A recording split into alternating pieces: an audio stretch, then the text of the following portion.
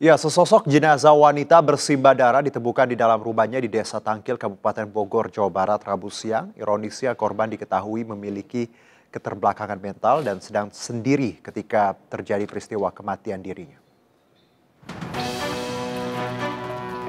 Penemuan sosok jenazah wanita berusia 35 tahun yang bersimbah darah di ruang tamu rumahnya menghebohkan warga Desa Tangkil, Kecamatan Caringin, Kabupaten Bogor, Jawa Barat.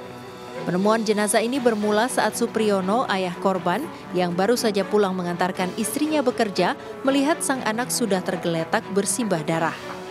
Mengetahui anaknya sudah tak bernyawa, ia pun langsung melaporkannya kepada ketua RT setempat dan menghubungi Polsek Caringin. Satuan Reskrim Polsek Caringin yang mendatangi lokasi kejadian langsung melakukan olah TKP.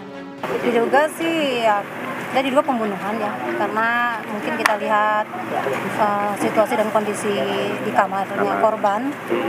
Tapi makanya untuk sementara untuk memastikan kita mungkin otopsi dulu. Hingga kini polisi belum bisa memastikan penyebab pasti kematian tersebut dan masih melakukan penyelidikan dengan membawa sejumlah barang bukti serta meminta keterangan dari sejumlah saksi. Dari Bogor, Jawa Barat, Wildan Hidayat, iNews melaporkan.